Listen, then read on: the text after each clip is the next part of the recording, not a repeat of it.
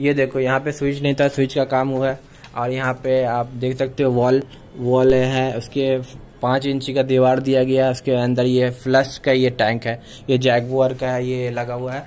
अगर इसका आप चाहते हो कि फुल ब्लॉग फुल वीडियो आए, कितना खर्च पड़ा, किस तरह से बनाया गया है, ये पूरा वेस्टर्न टॉयलेट है, और ये पूरे जितने से हो सके, जितना बढ़िया से बढ़िया बनाने वहाँ पे देख सकते हो कन्वर्टर डाइवर्टर है सॉरी और वो जितना भी जैगुअर का है, ये इसका जो बेसिन भी बैठेगा, वो जैगुअर का बैठेगा.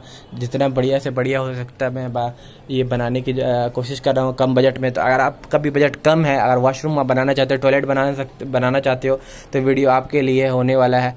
तो फुल ब्लॉग इसका, अगर आप चाहते हो कि इसका मैं बनाऊँ तो कमेंट में यस लिख देना, और नहीं चाहते हो तो नो लिख देना.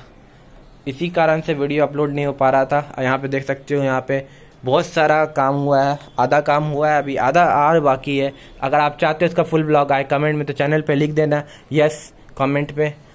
देख सकते हो ये पाइप है ये एग्जॉस्ट फ़ैन का ये लगाया गया बहुत सारा काम अभी बाकी है यहाँ पे। वाटर का पाइप है देख सकते हो वहाँ पे सावर के लिए वहाँ पे गीज़र के लिए।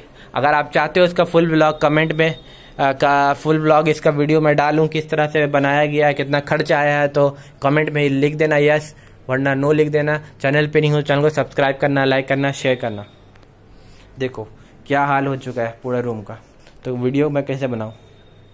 इस कारण से वीडियो नहीं आया। होप करते हैं कि आपको समझ में आ, मेरी परेशानी समझ सकते हो। तो चैनल पे न्यूज़ चैनल को सब्सक्राइब करना लाइक करना शेयर करना। और आप कमेंट में लिख दो कि आप चाहते हो कि इसका व्लॉग आए वीडियो आए कि किस तरह से बनाया गया कितना खर्चा आया क्या आया। देखो क्या कंडीशन हो चुका है। इसमें किस तरह से बनाएगा आदमी?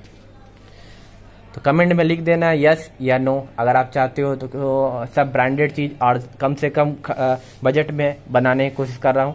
तो होप करते हैं वीडियो पसंद है पसंद है तो लाइक कीजिए शेयर कीजिए सब्सक्राइब कीजिए। कमेंट में यस और नो याद से लिखना कि आपको इसका पूरा डिटेल जानना है क्या कॉस्ट पड़ा क्या पड़ा नहीं पड़ा।